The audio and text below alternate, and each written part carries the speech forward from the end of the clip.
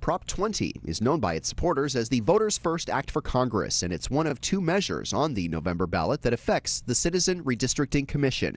We just had the 2010 census. That population count defines how many districts our state gets divided into in the U.S. House of Representatives. Estimates say California this time around will have between 52 and 54 seats in Washington, D.C. But who decides where the division lines go? If Proposition 20 and 27 both fail, our next governor and legislature will get to decide how to slice up California for purposes of lawmaking. If Prop 20 passes, it'll make the process of redrawing those lines the responsibility of the California Citizens Redistricting Commission. The arguments for Prop 20 center around the theme of creating California's congressional districts in a fair and unbiased way. They also say it's a logical extension of Prop 11, passed in 2008, which is the measure that, in the first place, established the Citizens Redistricting Commission. Then again, it was only approved by a slim margin in 2008, 50.9% of the vote.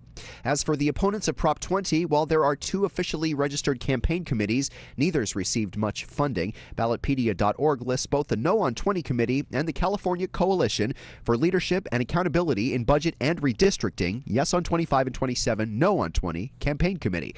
Kind of a mouthful. As mentioned a moment ago, Prop 27 and Prop 20 are competing on this November's ballot. Prop 27 would eliminate the Citizens Redistricting Commission. More on that in our spotlight on Prop 27. But in short, both Prop 27 and Prop 20 include what's called poison pill language, meaning if voters pass both, the one that's passed with the highest majority vote is the one that becomes the law. Those arguing against Prop 20 say it'll be a waste of taxpayer dollars, and they also say the measure will mandate all districts be segregated by income level. Julian Bond, former NAACP chairman, is quoted as saying Prop 20 sets back the clock on redistricting law.